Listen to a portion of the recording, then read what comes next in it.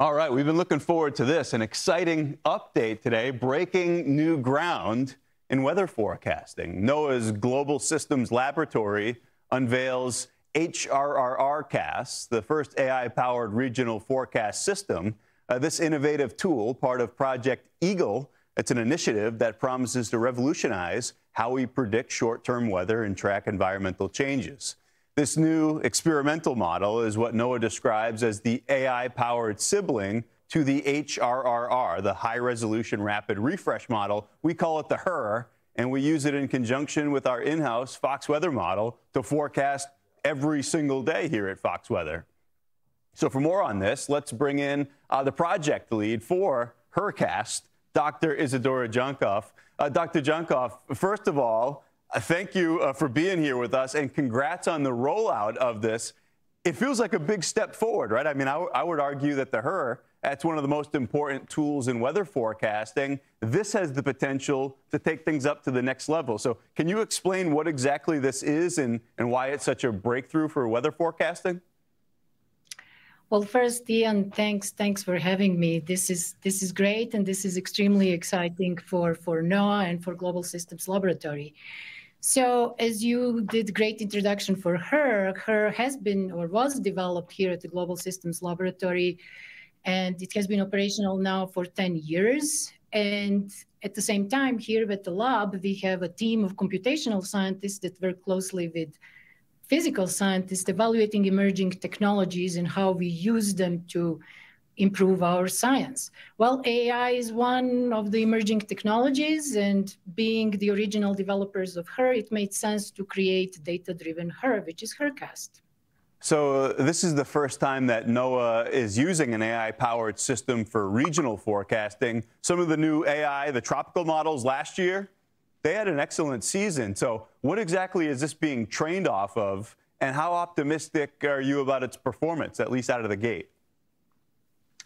So it was trained on her data, to be more specific on her analysis data, and we used three years of her analysis for training. And uh, I have to say, we are at our early stage. We are very encouraged with our preliminary results. We also already identified a couple of areas for improvement, but I personally am very optimistic. And one of the big things here is speed, right? We understand that the HRRRcast can deliver extremely fast forecasts. Physics based, the, the more old school numerical weather prediction, that's slow, it's costly, and you could call it uh, computationally needy.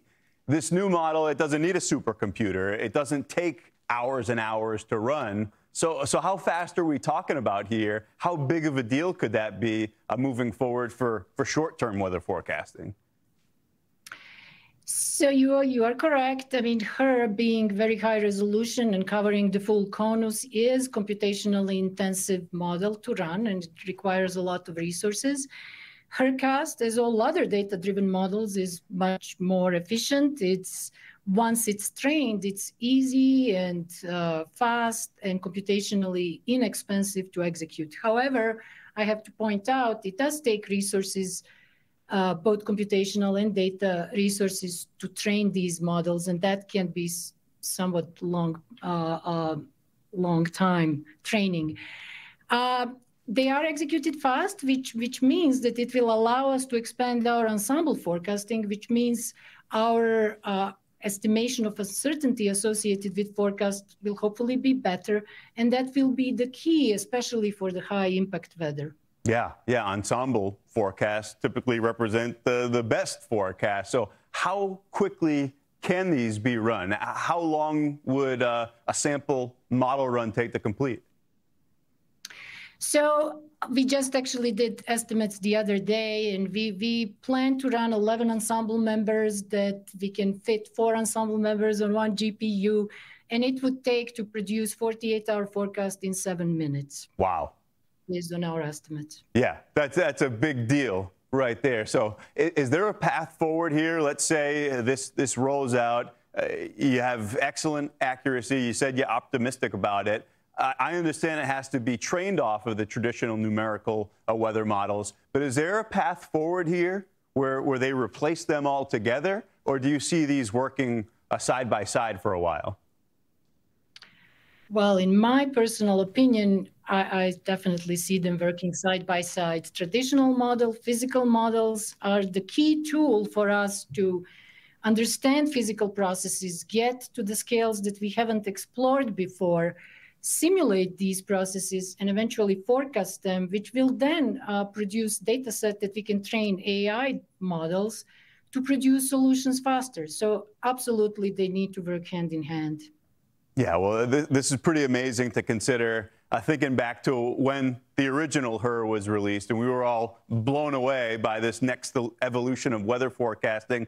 This feels like we're uh, kind of on the doorstep of another. So, uh, a job well done, really exciting technology, and we're uh, we're looking forward to actually using this and, and seeing how it works moving forward. That's the project lead of HRRRcast, Dr. Isidora Jankov. Thank you. Thank you. Thanks for having me. You bet.